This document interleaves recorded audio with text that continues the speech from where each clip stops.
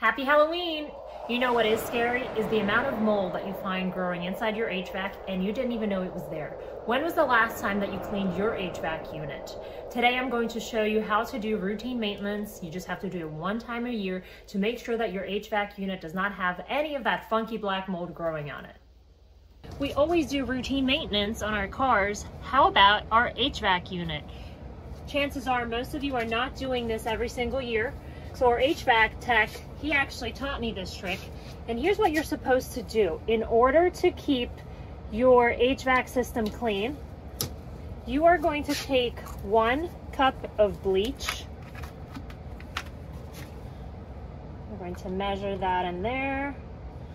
All right, so we have one cup of bleach. And what we're going to do is we're actually going to put it inside this little tube. So depending on the unit that you have, yours may look a little bit different. I know at my other house, I didn't have this clear tube. This clear tube is kind of nice to see because you can see it's a little dirty. So we're going to pour the bleach right in there. And we are now going to wait about five minutes. And while we're waiting, I'm actually going to heat up some hot water and we're going to flush this out with some hot water in a little bit. Let me show you how this looks on the inside over here. See how it looks really dark?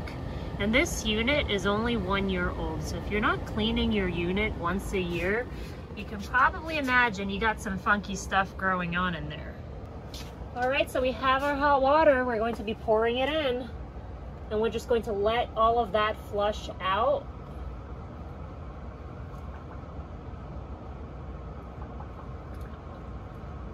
Now, our unit actually came with a little brush. Um, if you didn't, if yours didn't come with one, you can always purchase one.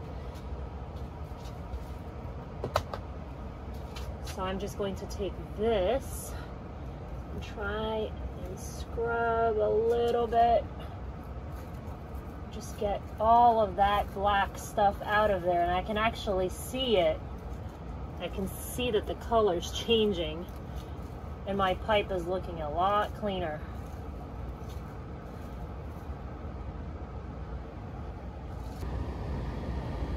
You start to see the difference. See how it's breaking up some of that blackness?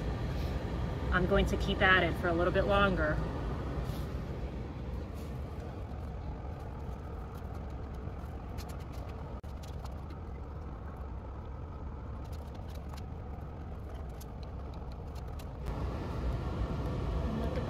a whole lot better. And there you have it. Now you just have to set a reminder to do it every single year. And there's your cleaning routine for your HVAC system. Happy Halloween.